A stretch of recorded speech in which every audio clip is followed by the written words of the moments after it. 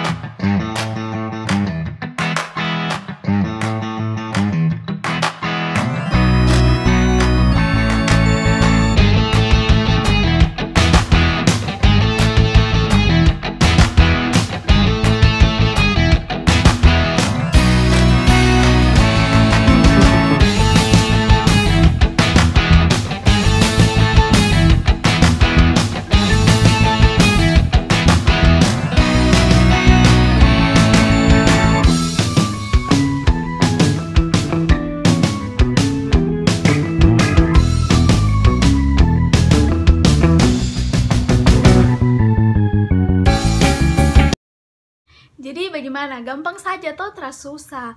Nah, untuk kamu yang mau request tanya rambut bagaimana dan bentuknya seperti apa lagi, silahkan nanti kamu komen di bawah. Oke? Okay?